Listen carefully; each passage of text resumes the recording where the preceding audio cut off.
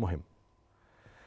طيب أحمد يحيى حارس مرمى الاتحاد أنتوا عارفين الموقف اللي حصل وال... والهتافات اللي ضده مش عايز أكرر القصة تاني. هو تراجع عن الاعتزال وكتب على صفحته على فيسبوك. أنا بعبر عن شكري وتقديري إلى جمهور الكرة المصرية بكافه بكافة المشجعين في كل الفرق بكافة انتماءاتهم بصفة عامة وقال كمان إن أنا بشكر السيد الأستاذ محمد مسلح رئيس نادي الاتحاد السكندري ومجلس ادارته المحترمين وجمهور نادي الاتحاد السكندري العريق بصفة خاصة على الدعم والمساندة المستمرة خلال الفترة الأخيرة وتقديرا واحتراما لآراء معظم السادة الرياضيين وزملائي اللاعبين والجماهير المخلصة والأصدقاء المقربين لي وعائلتي الحبيبة الذين قاموا بنصيحتي وتوجيهي بإعادة النظر في قراري باعتزال كرة القدم خلال الفترة الحالية فقد قررت التراجع عن قرار الاعتزال وعدم التسرع في اتخاذ هذا القرار في ظل الظروف النفسية العصبية التي مررت بها. وانتهز هذه الفرصة لأعرب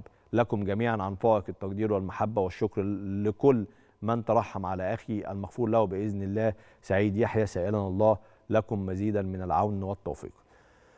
كان متوقع يعني كان متوقع إنه هي في لحظة عصبية ولحظة زعل والله يكون في عونه بصراحة بكل الظروف دي. إنه اعتزاله هيبقى قرار انفعالي. وعودته من الاعتزال قرار متوقع وطبيعي. حارس محترم حارس كبير الله يكون في عونه ظروف صعبة. ومش عايز أعيد الكلام عن القصة دي تاني. اللي حصل حصل خلاص. جماهير الاتحاد جماهير عظيمة. وهو أيضا حارس رائع و